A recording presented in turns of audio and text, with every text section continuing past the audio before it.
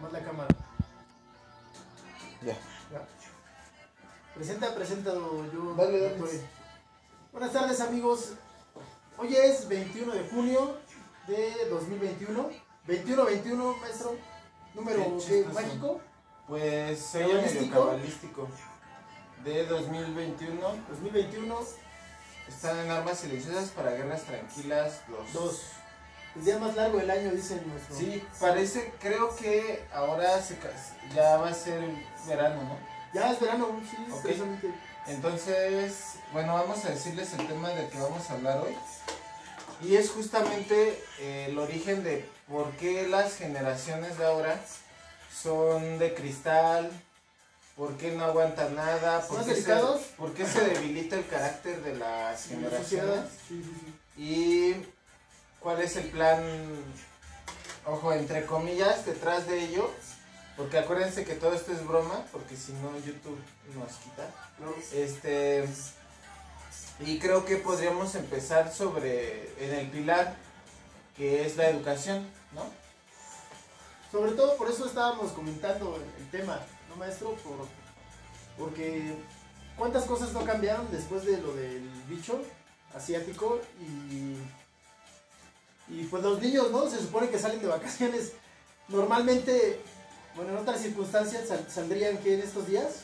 Ah, Este es el último día que sal- sí, serían sus vacaciones de verano. Y ya no va a ser Y así. ya no va a ser así, obviamente. este, pero no van a reprobar a nadie tampoco, maestro. Pero bueno, pero estamos en el tema de, de, de, son de por qué se ha debilitado, ¿no? Parte de, de, este tipo de cosas, volvemos otra vez a la educación, es por eh, las herramientas que ocupa eh, el sistema, ¿no? El viejo sistema. Eh, inculcándoles a los niños, por ejemplo, me voy a desviar un poquito, pero el amor o el respeto a los animales, ¿no? Y bueno, no, los animales este, casi casi te los quieren poner como casi a la altura de los seres humanos, ¿no? Por ejemplo, no, mira, es que tú un gato lo tienes que, este, sí, evidentemente lo tienes que cuidar, lo tienes que atender, es una mascota, Pero los humanizan. ¿no? pero hasta la palabra mascota, ¿no? Ya es ofensiva para muchos, güey. no, no es una mascota, es un miembro de la familia, y no, no, señores. Si Eh, se fijan, los Simpson pro- pronosticaron mucho. A nosotros cuando nos educaron, a ver, la mascota es esto, ¿no? Tú vas a la escuela a esto, no nada más entregar tareas ni nada. Vamos. Creo que el cambio, mucho del cambio es en cuanto a las palabras, a los conceptos que tiene la gente ahora de bien y mal, de dónde salen. eh, es como escuelas filosóficas modernas, posmodernistas, que tienden a vernos al ser humano como animales que piensan. Y antes se les veía como los hijos de Dios a los animales, a los seres humanos. Era una blasfemia, ¿no? Que, Que te dijeran animal. claro. Entonces ese es un ejemplo, pero hay muchísimos, ¿no? Claro. Por ejemplo, desde el tipo de crianza que dan los padres a los hijos ahora, cómo lo hacen, las herramientas que utilizan, cómo consideran lo masculino, lo femenino. Ahora pues es pedirles las cosas, no sé, a los niños como tratarlos como amigos. Y antes era pues algo muy claro, ¿no? Lo tienes que hacer, ¿eh? Mi trabajo es ir a, valga la redundancia, mi trabajo, eh, echarle ganas para sacar el pan. Y sí, cuando yo regrese, pues, de- ya debe estar hecha la tarea, ya debe de estar hecho, no sé, X actividad. Y los roles están cambiando completamente, maestro, ¿no? Porque Sí. eh, los niños ya eh, eh, se están educando de una forma mucho, muy distinta como fuimos educados nosotros. Tanto que ya ni siquiera se les puede reprender, ¿no? Sí. De manera así tan drástica, porque te pueden demandar. Un cambio, un cambio, por ejemplo, es en el concepto de violencia. La violencia, pues, antes, pues, es entendida por gente como yo, como que te lastimen, ¿no? Físicamente, como Claro. que te hagan algún daño eh, físico. Ahora, incluso las palabras se, se catalogan como violencia y eso ya abre las puertas a cosas como la, la- el limitar la, la- la libertad de expresión. El extremo feminismo, maestro. Antes cualquiera podía decirle un piropo a alguien en la calle, ¿no? Ajá, ¿Nunca me, le, le dijeron alguna vez un piropo, maestro? No. una vez, ah, pero, A mí nunca me han dicho uno, maldito. por ejemplo, hasta desde ahí se ve, ¿no? Ah, en cómo clasifican el lenguaje de una manera Claro. diferente. Este, vean, voy con esto del concepto de violencia. Ahora pueden limitar la libertad de expresión al hacer que haya algo que se llama discurso de odio, ¿no? Que es decir, cosas que van en contra de ciertas razas o grupos vulnerables. Y esto es un pretexto, a mi parecer, para que limiten el, el Sí, la, libertad de, expresión, Ah. claro, ¿no? Y también para debilitar no solamente a quien, a quien dice la palabra, ¿no? Sino a, a- a quien la recibe. Sí, Aquí en. México, por ejemplo, decir este el, el color de piel de una persona es algo muy normal. Yo tengo un hermano que es morenito y le podemos decir, decir negro y no, no se ofende. Y ahora, ahora ya no. Ahora ya es este, un epíteto racista.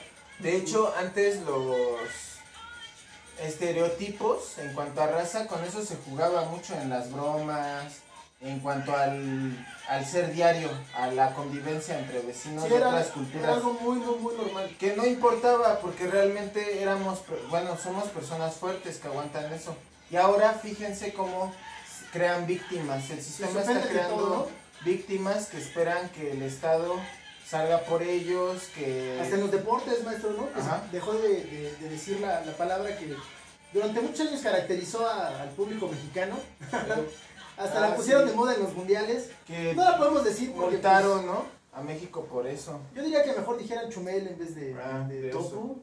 ¿no? Y Chumel. Ah, Y vean, en cuanto a los deportes, se puede ver incluso como eh, lo- el fútbol americano. Yo no había visto en muchos años americano y la última vez que lo vi, totalmente el físico de los atletas es diferente porque las reglas cambiaron y ya no es tanto de tanto contacto, ¿no? Sí, no, no, ya no son tan fuertes los, los jugadores.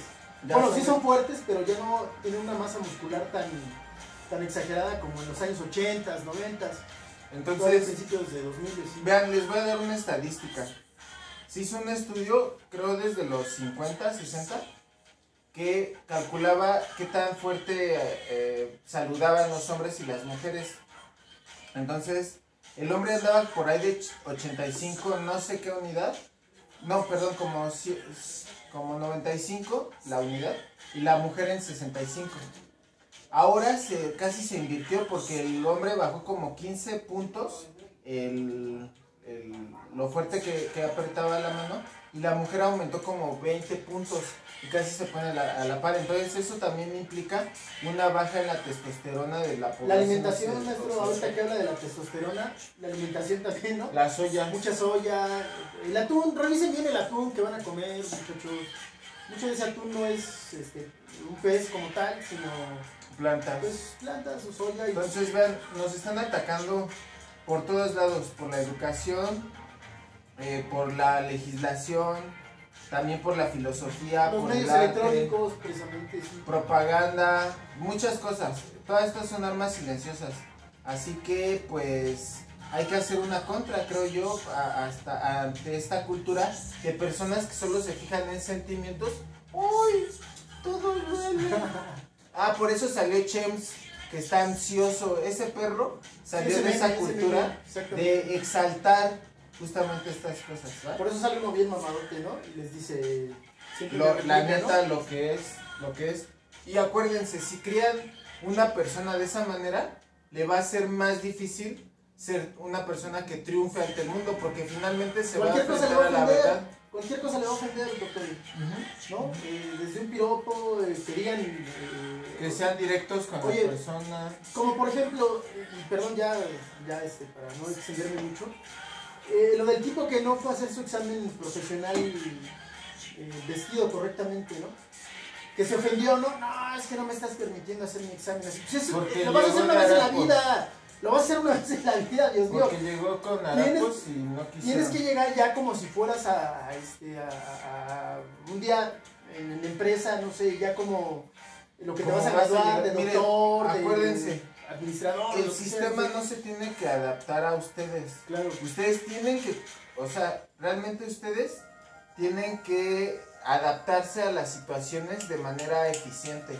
ya nada más falta que este personaje, este, como no lo van a querer ver desnudo, maestro, pues lo saquen. Lo van a vetar. lo van a- no, lo sacaron incluso, ¿no? En alguna película con, con un traje, ¿no? Sí. Este, porque no querían que saliera desnudo, ¿no? Vean, en Estados Unidos ahorita hay algo muy como en boca de muchos, eh, que en la legislación se cambió el nombre de madre a persona que, que pare.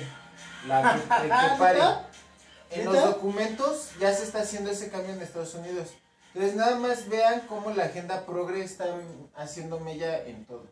¿Qué opinas para Este, finalizar? ya para finalizar, ayer fue Día del Padre. Ah, y sí, me dio este, felicidades. y bueno, para los que sean papás, felicidades. Papás, que Papás, son hombres, papás, hombres. también hay mamás que le hacen de padres, pero pues este, Pero es- ya es ya otra tienen su día. Claro, y, y tienen varios, ¿no? Sí. Este, de la mujer, eh, de las madres, este, de las secretarias, bueno, en fin. Eh, muchos memes de, de femi- feministas extremas Atacando este, ese día. atacando ese día, ¿no? Como si no hubieran venido de, de la mezcla de, de, De genes masculinos y femeninos, ¿no? Bastante curioso, maestro. ¿no? Sin duda yo creo que van a estar súper contentos cuando el país de los ojos rasgados pueda pues desarrollar a, a los hombres y que puedan Eso nunca va a pasar. embarazarse, pero pues como todavía no llegamos a eso, maestro, pues hay que ser congruentes con, con la- las normas sociales establecidas. Al menos con lo obvio. No se debe uno de ofender por algo este, eh, tan común, ¿no? Como, no sé, un epiteto o una corrección, o hasta un día, ¿no? Ah, O hasta un regaño. padres y, o un regaño, exactamente. o sea, eh, nosotros fuimos criados de otra manera y todas esas eh, eh, críticas o luchas o lo que sea, no- no- nos forjaron un carácter fuerte, un carácter fuerte. No hay que permitir que haya una generación de cristal, ¿no? No otra. Entonces, recuerden, los tiempos buenos hacen hombres malos, los hombres malos hacen tiempos los malos, tiempos malos, los y los tiempos malos hacen hombres buenos. Entonces, pues, no hay que dormirnos en nuestros laureles y hay fuerzas que quieren, quieren controlarnos con ingeniería social. Nos vemos la próxima y gracias Sí, por sí, vernos. No le podemos mentar ya la madre a Chumel porque Ah, somos Chumel sí, éticos, somos El, el hashtag bye. Bye.